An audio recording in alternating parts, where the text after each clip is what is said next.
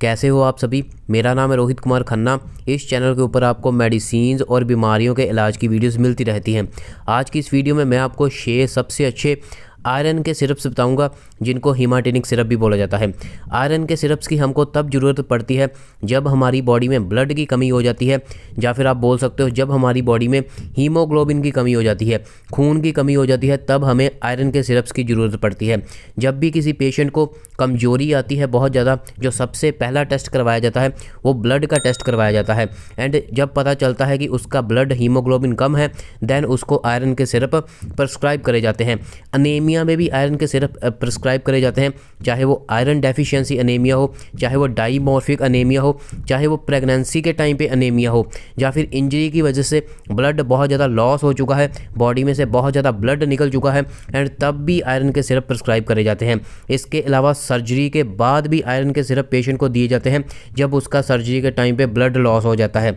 इसके अलावा journal weakness को दूर करने के लिए, जैसा मैंने आपको बताया कि अगर पेशेंट थका थका रहता है, उसका जब टेस्ट करवाया करवाया जाता है तो अगर ब्लड उसका जो हीमोग्लोबिन है वो कम आता है देन उसको आयरन के सिरप प्रिस्क्राइब करे जाते हैं, जिनको हीमाटिनिक सिरप बोला जाता है। एंड जो मैं आपको शे सिरप बताने जा रहा हूँ, इन शे सिरप से को इस्तेमाल करने के बाद दस दिन में रिज़ल्ट दिखने शुरू हो जाते हैं एंड एक मंथ के अंदर अंदर ही पेशेंट को जो हीमोग्लोबिन उसका पूरा हो जाता है, जितनी उसको ब्लड की ज़रूरत है, वो उसका पूरा हो जाता है। जो हमारा सबसे पहला सिरप है उसका नाम है हीम अप सिरप। ये कैडिला फार्मा की ओर से आता है। काफ़ी पॉपुलर सिरप है मार्केट में। इसका जो एमआरपी है वो one seventy eight point five rupees है, लेकिन डिस्काउंट डाल के ये मार्केट में आपको वन फिफ्टी फाइव रुपीज़ के आसपास मिल जाएगा। अगर हम इसकी कॉम्पोजिशन की बात करें तो इसमें आपको फेरिक अमोनियम सिट्रेट मिल जाएगा फोलिक एसिड मिल जाएगा साइनोकोबालामिन मिल जाएगा कुप्रिक सल्फेट मिल जाएगा मैगनीज सल्फेट मिल जाएगा। जो हमारा सेकंड सिरप है, उसका नाम है हिपैटोग्लोबिन सिरप। ये रेप्टोकोस ब्रेट कंपनी की ओर से आता है।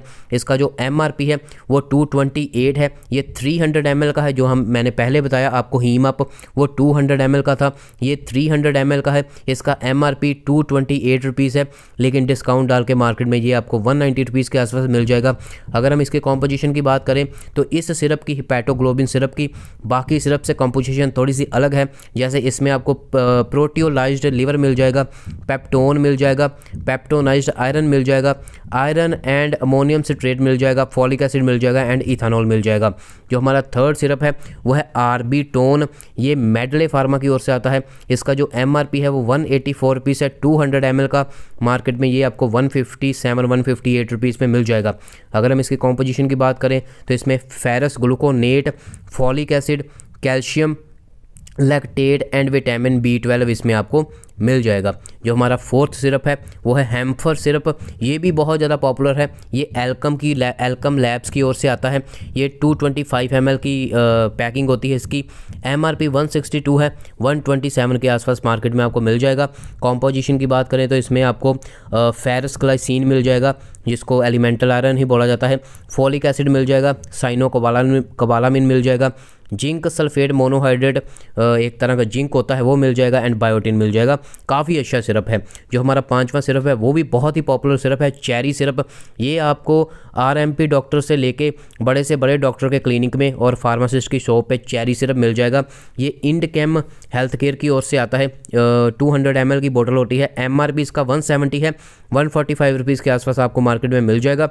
इसमें कॉम्पोजिशन की बात करें तो फेरिक अमोनियम सिट्रेट मिल जाएगा, एलिमेंटल आयरन जिसको बोला जाता है, साइनोकोबालामिन एंड फोलिक एसिड। ये इसकी कॉम्पोजिशन है जो हमारा नेक्स्ट सिरप है सिक्स सिरप वो है डेक्सो रेंज सिरप ये फ्रैंको इंडियन फार्मा की ओर से आता है।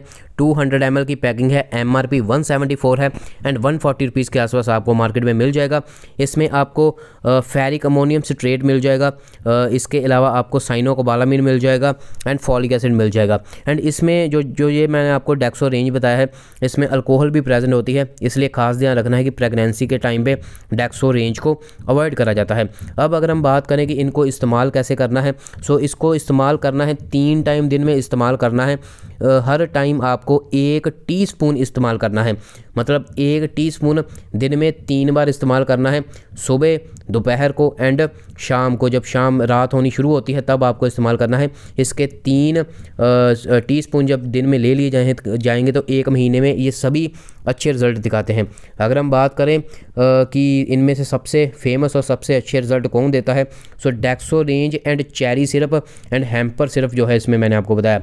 ये सबसे अच्छे रिज़ल्ट देते हैं, लेकिन डेक्सो रेंज की प्रॉब्लम यह है कि इसको आप प्रेगनेंसी में इस्तेमाल नहीं कर सकते।